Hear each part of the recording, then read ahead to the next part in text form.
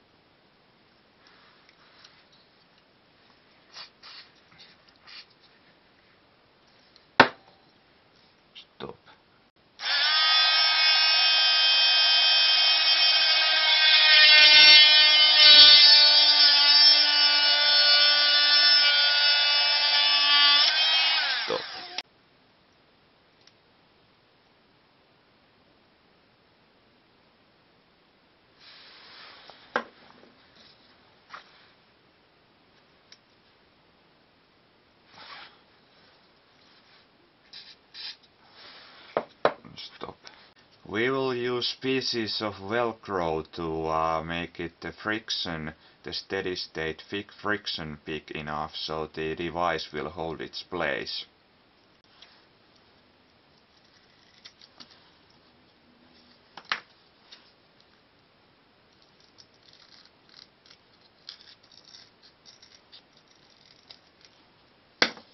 Stop.